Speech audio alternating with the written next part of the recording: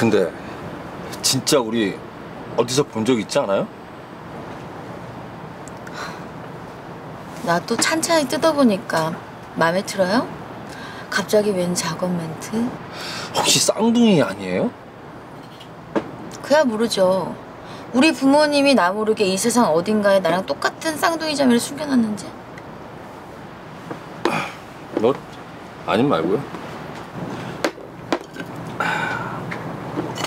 나 박희경 씨 본 적 있어요. 그쵸? 나 본 적 있죠? 신문 잡지에 실린 박희경 씨 사진 본 적 있어요. 근데 그때 그 기사 진짜 사실이에요? 근데 만약 사실이라면 정말 박희경 씨 그 재활용도 안 되는 쓰레기 아닌가요? 백도희 씨 쓰레기랑 선보러 나왔어요? 난 상관없어요. 박희경 씨가 쓰레기든 아니든. 근데 나는 박희경 씨가 쓰레기가 아니다의 한 표. 우리 아버지가 정말 사람 보는 눈은 아주 기가 막히거든요. 장난 아니네요. 병 주고 약 주는 솜씨가. 장세진 씨 외삼촌 되시죠? 근데 장세진 씨랑 결혼한 그 강태준 씨 어떤 사람이래요? 확실히 합시다. 그쪽 지금 선보는 겁니까? 아니면 일하는 겁니까? 일타 쌍필 바쁜 세상이잖아요. 그 사명 가면 참 좋은데 잘못 짚었어요. 뭐가요? 나도 내 조카지만 기사 보고 결혼 소식 알았거든요.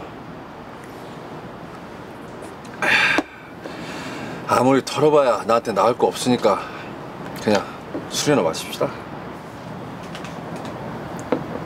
억지로 나왔죠?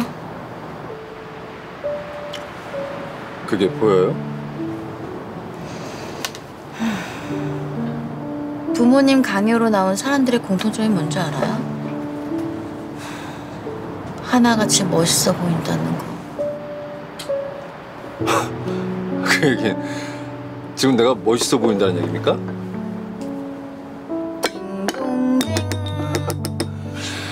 눈은 아주 정확하시네. 나도 진짜 너무 이쁘지 않아요? 어? 나 정말 이렇게 안 꾸몄는데도 너무 이쁘죠, 그쵸? 그쪽도 지금 억지로 나왔다는 얘기를 하고 싶은 겁니까? 사실 처음엔 그랬어요. 근데 지금은 아니에요. 사실 아까 낮에 맞선 숙제 후딱 해치우려고 박형 씨 찾아간 거예요. 근데 그 숙제 일찍 안 끝낸 거 나 너무 잘한 것 같아요.